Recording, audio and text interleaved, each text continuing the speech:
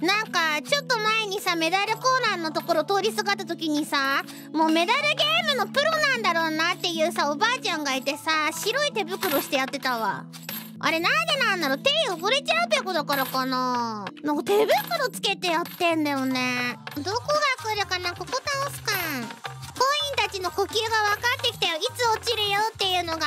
ゼニの呼吸。1の方。ペコーラも柱になるわ。ペコーラしかもうそこ覚えられないから。後継者とかいない。ペコーラの代で終わらせる。あ強く離れる。理由を知った銭を稼ぐ理由を知った。やめてくれる？銭を稼ぐ理由。生きるためだから。生きるために稼がなきゃいけないんだよ。そうだろ？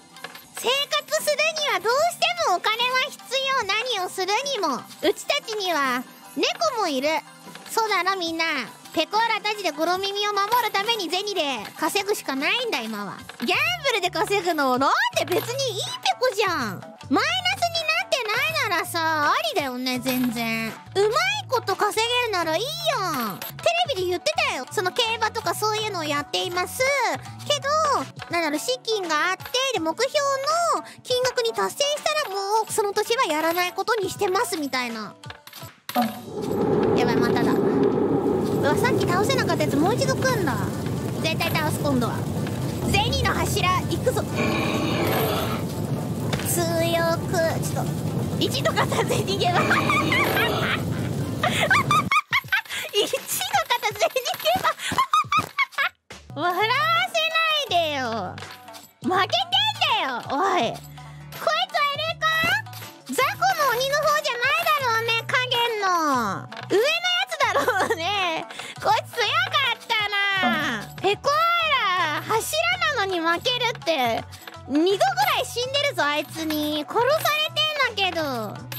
ペコーラやっぱ炭治郎だったのかもしれない。あいつは雑魚中の雑魚だろ。嘘だろ。ペコーラをあんなにも手こずらせたく銭足。銭銭柱。聞いたことないよ。面白いペコだなちょっと笑っちゃうわ。しょうもないのに面白くて笑っちゃう。これが深夜テンションなのだろうか。